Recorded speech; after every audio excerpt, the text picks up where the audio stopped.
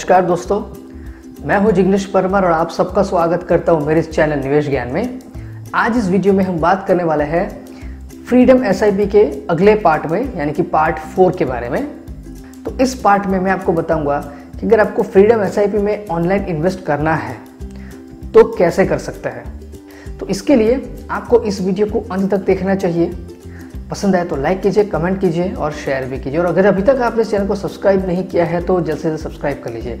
तो दोस्तों, आइए शुरू करते हैं how to invest in freedom SIP तो दोस्तों, यहाँ पर मैं आपको पहले बताना चाहूँगा कि मैं जो ऑनलाइन प्लेटफॉर्म यूज़ करता हूँ, जिसका नाम है फंड्स बाज़ार जिसकी लिंक मैंने डिस्क्रिप्शन बॉक्स में दी है, वहाँ से आप भी उस पर साइन इन कर सकते हैं और आप भी फ्रीडम एसआईपी में इन्वेस्ट कर सकते हैं। ये एक बहुत ही अच्छा ऑनलाइन प्लेटफॉर्म है जिसका कस्टमर केयर सपोर्ट भी बहुत ही बढ़िया है। और एक ही बार में अगर आप सारी प्रोसीजर कंप्लीट कर देते हैं उसके बाद में आपको कभी और किसी कागजात की ज़रूरत नहीं पड़ती है और आप सारे की सारी ए में इन्वेस्टमेंट कर सकते हैं। बेशक ये एक रेगुलर प्लान है डायरेक्ट प्लान नहीं है, लेकिन ये जो ऑनलाइन प्लेटफॉर्म है, वो बहुत ही बढ़िया है। आपको एक बार अवश्य ही इसके अंदर इन्वेस्टमेंट करके इसका अनुभव करना चाहिए। इसके अंदर आपको पहले साइन अप करना पड़ेगा। उसके लिए तीन स्टेप की प्रोसीजर है। ईमेल रजिस्ट्रेशन उसके बाद में मोबाइल रजिस्ट्रेशन फिर आपका पान कार्ड के बेस पे आपका के वाई फैच होगा और आपकी बैंक डिटेल्स उसके बाद में वन टाइम फ़िज़िकल मैंडेट या तो फिर ई मैंडेट आपको रजिस्टर करना होगा और इतनी प्रोसेस कंप्लीट होने के बाद आप कोई भी एएमसी की, कोई भी स्कीम में इन्वेस्टमेंट कर सकते हैं। तो यहाँ पर हम लोग सिर्फ़ देखेंगे कि हम फ्रीडम एस में इन्वेस्ट कैसे कर सकते हैं। तो यहाँ पर हम शुरुआत करेंगे डायरेक्ट लॉगिन से। मान लीजिए कि आपका अकाउंट एक्टिवेट हो चुका है क्रिएट करके पूरी सारी की सारी प्रोसीजर कंप्लीट हो चुकी है तो उसके बाद में हम इन्वेस्टमेंट कैसे कर सकते हैं, ये मैं आपको इस वीडियो के अंदर दिखाऊँगा। पर जो लिंक दी गई है, उसके ऊपर आप क्लिक करेंगे। तो यहाँ पर ये पेज ओपन होगा और इसमें जाकर आपको लॉगिन करना है। जैसे ही लॉगिन पर क्लिक करेंगे, ये साइन इन का पेज खुलेगा। यहाँ पर आपको यूज़र नेम जो कि आपका ईमेल एड्रेस रहेगा, वो डालना है। पासवर्ड डाल के लॉग इन पर क्लिक करना है। यहाँ पर सेकंड लेवल ऑथेंटिकेशन आएगा। वहाँ पर आपको आपका पान कार्ड नंबर या तो फिर बर्थ डेट दोनों में से कोई भी एक चीज़ आपको एंटर करनी है। फिर ऑथेंटिकेट पर क्लिक करना है। तो ये आपका डैशबोर्ड ओपन होगा। तो यहाँ पर डैशबोर्ड पर आपकी सारी इंफॉर्मेशन यहाँ पर आपको दिखाएगा। Investment value, current value short term gain, absolute return. अब यहाँ पर इन्वेस्ट में जाना है। उसके बाद में unique offering, ICICI freedom SIP में जाना है।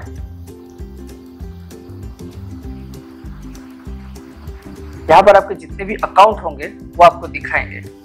उसमें से आपको अकाउंट चूज़ करना है कि आपको कौन से अकाउंट में फ्रीडम एस चालू करनी है। उस पर आपको सिलेक्ट करना है। यहाँ पर आप एक साथ बहुत सारे पूरा फैमिली का अकाउंट आप ओपन कर सकते हैं। एक ही लॉगिन में सारे के सारे पान कार्ड के साथ आप अकाउंट ओपन कर सकते हैं। तो सिलेक्ट कीजिए।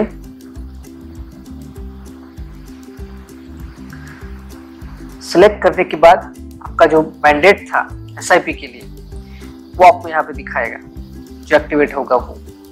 तो वो मैंडेट आपको सिलेक्ट करना है। ये मैंडेट आप अकाउंट ओपनिंग के टाइम पे ही रजिस्टर करवा सकते हैं। तो यहाँ पर मैंडेट सिलेक्ट करने के बाद नेक्स्ट पर क्लिक करना है। जैसे ही नेक्स्ट पर क्लिक करेंगे स्कीम सिलेक्शन का ऑप्शन आएगा, उस पर क्लिक कीजिए। तो यहाँ पर ये पेज ओपन होगा, जहाँ पर आपको ए एम सी आई सी आई सी आई ही दिखाएगी, क्योंकि फ्रीडम एस आई पी सिर्फ़ आई सी आई सी आई में ही है। उसके बाद में सिलेक्ट नेचर आप इक्विटी हाइब्रिड कोई भी प्रकार के नेचर की जो स्कीम एलिजिबल है, उसमें आप इन्वेस्ट कर सकते हैं। ग्रोथ ऑप्शन क्लिक कर सकते हैं। ग्रोथ या डिविडेंड कोई भी ऑप्शन आप दोनों में से सिलेक्ट कर सकते हैं। मैं यहाँ पर ग्रोथ ऑप्शन सिलेक्ट करूँगा। ये हमें स्कीम सर्चिंग करने के लिए कर रहे हैं। इतनी सारी स्कीम एलिजिबल है। यहाँ पर आप कोई भी स्कीम पर क्लिक करेंगे तो इस स्कीम के बारे में पूरी डिटेल आपको मिलेगी। उसका नाम, उसकी कैटेगरी कितनी एन है, कितना फंड मैनेज करती है, कौन से साल में स्कीम आई थी, कितने साल हुए हैं। और पूरी डिटेल्स वो स्कीम की यहाँ पर आपको दिखाएगा। इस तरह से आप कोई भी स्कीम की डिटेल देख सकते हैं।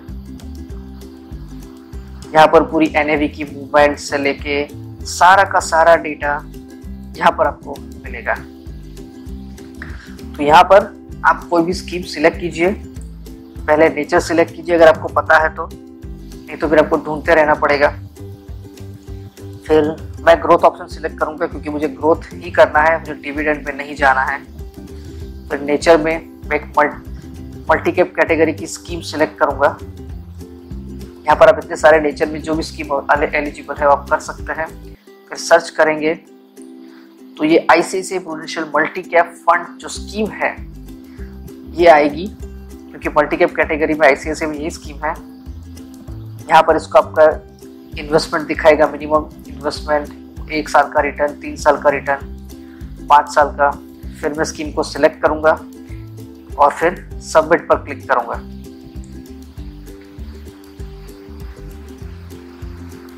जैसे ही सबमिट पर क्लिक किया, यहाँ पर मुझे कुछ डिटेल्स मांगेगा कि कितनी अमाउंट की एसआईपी करनी है। उसके बाद में यहाँ पर मैं एक हज़ार रुपये डालूँगा, क्योंकि मुझे एक हज़ार रुपये की एसआईपी करनी है। फिर गोल है तो सिलेक्ट कर सकते हैं। गोल नहीं है तो कोई बात नहीं। मतलब कौन सी तारीख को आपको पैसे कटवाने हैं?